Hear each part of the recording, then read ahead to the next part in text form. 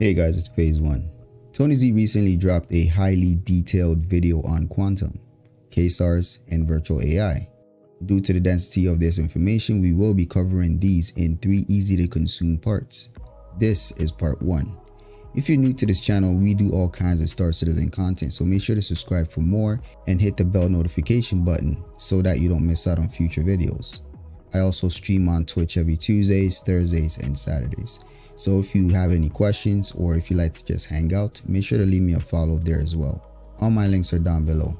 And without any further ado, let's get started.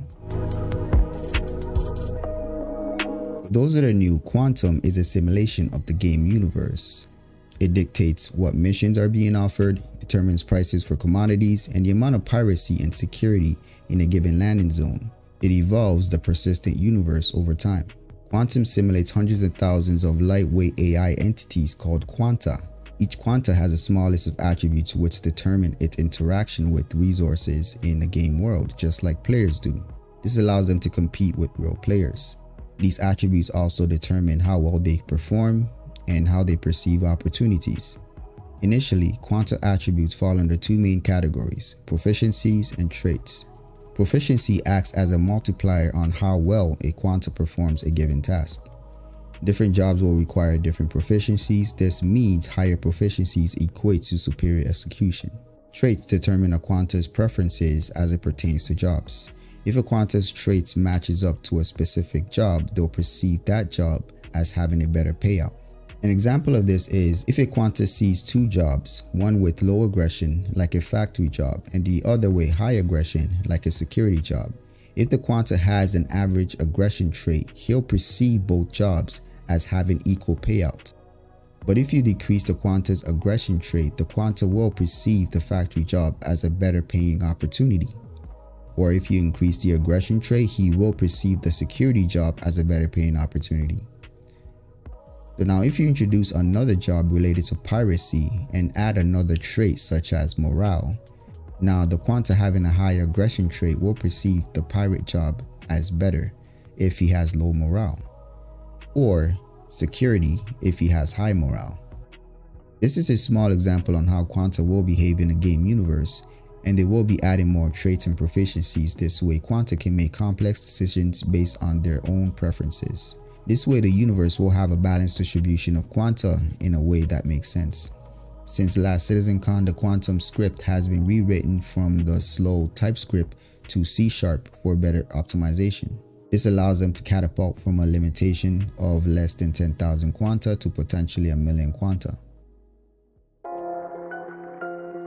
To assist in contextually interpreting the enormous amount of data Quantum generates from the actions of players and NPCs, CIG has developed a web-based application called Odin. Odin will allow them to iterate on various combinations to achieve a desired result of what we'll eventually see as a live and thriving economy in the game universe. Odin allows them to analyze complex scenarios such as investigating what may have caused a price hike in a certain sector of a star system, or even what caused a particular resource to be mined out a lot quickly in comparison to others. They also developed a data analysis tool called the Lizzie graph.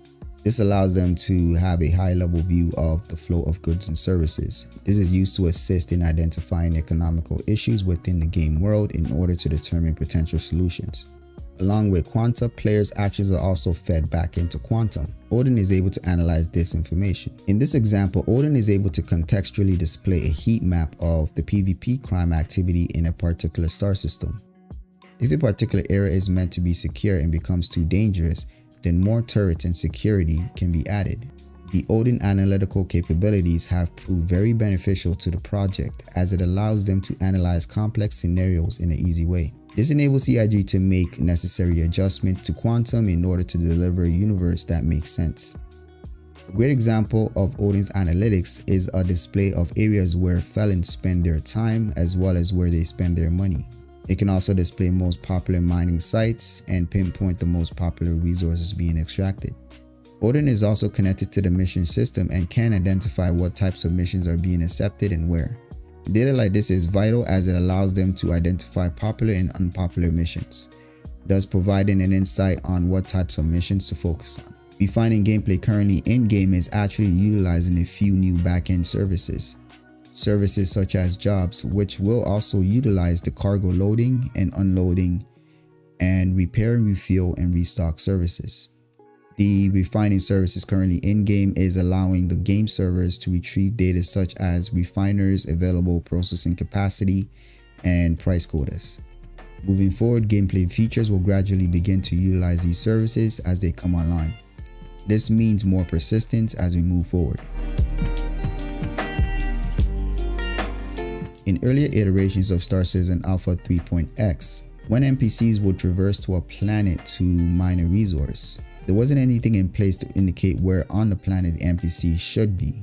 Moving forward, due to the development of the resource services, through an API, Quantum is now able to retrieve this data, thus allowing it to identify resource depletion in a given area on a planetoid. The example shown here demonstrates this. A Quanta NPC explores a planet and finds a resource at a particular location. The Quantum then notifies its organization of its new findings. Now you'll see that the organization is now converging to this area to extract the resource.